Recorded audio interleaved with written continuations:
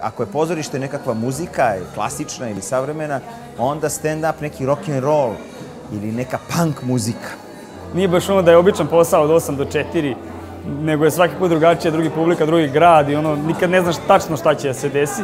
Prosto ili imaš dobre fore, fore ili nemaš dobre fore. Meni je stvarno veliko zadovoljstvo, stvarno neverovatno veliko zadovoljstvo što je jedan materijal pre nastupa prvo čula Ruška Jakić. To je meni bilo stvarno, ona se smejala, niko se više nikad nije smejao na tome, ali bilo je super. Četiri stand-up komičara Apokalipse u teatru Carte Blanche. Do Apokalipse bi došlo samo kada bi ljudi stvarno umirali od smeha.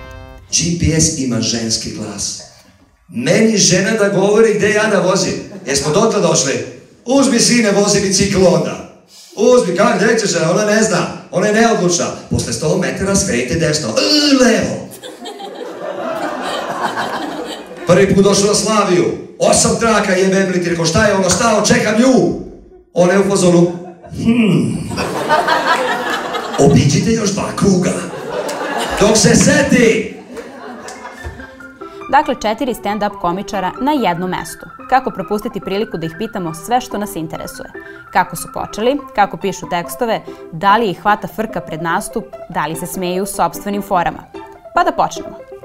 Ja sam radio kao novinar 8 godina i onda je bilo neko takmičenje u stand-upu. Ja sam ovako došao da ispratim kao ti sada to takmičenje i nije bilo dovoljno kandidata i onda su bili u fazonu, aj ti se prijavi, ti se prijavi. Pa rekao, ajde, rekao, ili ću ispasti budala ili će biti nešto. I eto, ispo budala. Pa ja sam došao kao ono, sad ću ja da spremim, ja spremio pola sata kao materijala, tad sam ja mislio da je to pola sata.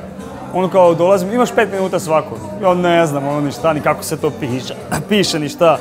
I onda sam tako nekako, ono, i trema, i prvi put mi je uopšte pred ljudima, prvi put ono mikrofon držim i...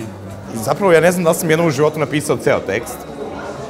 Negde kad sam krenuo sve da radim, ja sam zaista sve bazirao na improvizaciji. Međutim, shvatio sam da moram prosto da imam neku bazu od sat i po dva vremena materijala.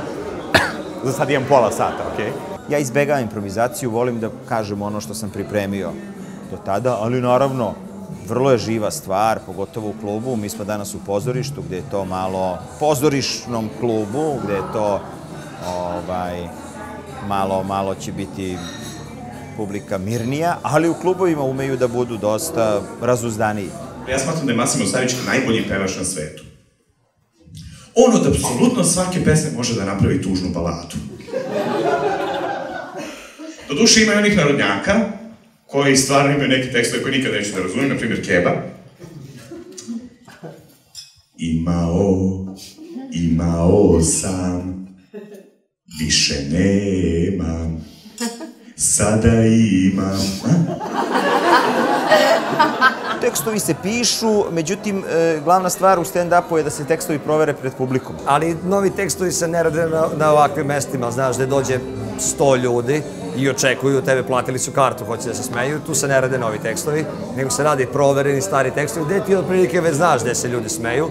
Ako se baš ne smeju na te tvoje tri fore gde su ti se stalno smeli, ili nešto nije u redu sa tobom, ili nisi dobro izveo, ili sa publikom nešto nije u redu. Teško napišeš nešto na što si baš jako ponosan. I to ide onako sporo, ali sklapam ih noćima, noću mi nekako, ne znam, dolazi inspiracija, pišem tako noćima. Prvo zapišem na telefon ideju, onda u svesku i onda prerađujem na komp. Tako, to mi za sad uspeva. Na svu sreću živimo u Srbiji, tako da gde god da se okreneš možda nađeš neku zanimljivu temu. Za početak vidiš ko nam se bavi politikom, ko nam se bavi muzikom, ko nam se bavi glumom, a naročito primetiš ko nam se bavi stand-upom, to je katastrofa živa. Muško-ženski odnosi su generalno najzanimljivija tema svima i to svuda prolazi, to svi vole, plus je neistatna tema, ono. Svi su o tome pisali, uvek možeš nešto novo na svoj način da prikažeš. Treba umeti pričati sa ženama. Primjer, ja smo ovdje pričamo o tome ko je šta obukao njenim drugaricama, njenoj majici, o zavesama. I onda na kraju ja nešto kažem. Mislim, ti sa ženom kad se raspravljaš, ti imaš izbor. Hoćeš da budeš u pravu ili hoćeš da budeš u vezi. I ti da izbor čovječe. Nisam imao nekih provokacija, ono. Mislim da u stranim zemljama gde je to razvijenije, ljudi su već, ono, više ima komunikacije s publikom. Kod nas se još ne usuđuju toliko ljudi. Tako da nema provokacija, više ima nekih dobronamernih opaski iz publike i tako. Nažalost, e, čak i Hrvatska, čak i Slovenija, Mađarska, mnogo su napredniji od nas u tom smislu. Jer kod nas stand-up je još uvek neka avangarda, nešto što je što se drži između četiri zida, znaš. Imali smo situaciju da dođe publika, na primer, dođe 200 ljudi da nas sluša, a dođe njih 10 koji su došli da proslave maturu. I onda piju, deru se, znaš, baš i briga što je neko došao tu da priča. Najradije, najradije bi ti rekao, je, alo, kao, ajde malo tiše, znaš, ovde pijemo, kao, došli smo da slavimo. Tako da se to stvarno dešavalo. E, to je loša publika. Ali ne zato što oni ne kapiraju humor, nego su prosto došli nekim drugim povodom.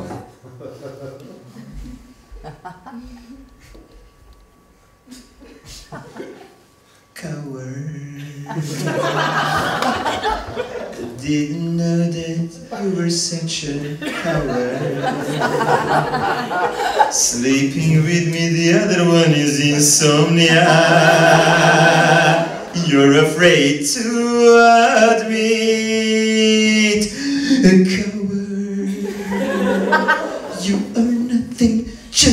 another coward. But I'm not a little girl anymore that you once used to know. Idemo Isuse, opa! A? A? Znate majku nacije. U teatru Carte Blanche očekuje vas još stand-up nastupa, pa bacite pogled na njihov repertoar. Maj će biti smehotresan. Ti šta možeš da čekaš na stand-upu? Možeš da čekaš da se smeješ i prosto to je to, da ti se zacrvene dlanovi od aplauza i to je to, da ne dignu mnogo očekivanja. Ako nas pitate, prevaziđena su očekivanja i super smo se proveli. Ne samo na nastupu, već i tokom razgovora sa četiri stand-up komičara Apokalipse. Jel možemo celu tu rečenicu da publika može da očekuje visokokaloričnu komediju? I od svake neke situacije pokušavam da pronađem nešto što je otprilike smešno ovaj, ljudima. Žao mi je što ne mogu da vide tvoju frizuru.